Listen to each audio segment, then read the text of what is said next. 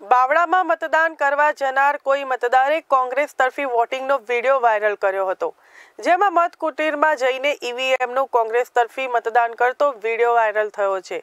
મતદાન મથકમાં મોબાઈલ લઈ જવા ઉપર પ્રતિબંધ હોવા છતાં પણ મતદાન કરતો વીડિયો વાયરલ કરાતા તંત્ર પણ દોડતું થયું છે.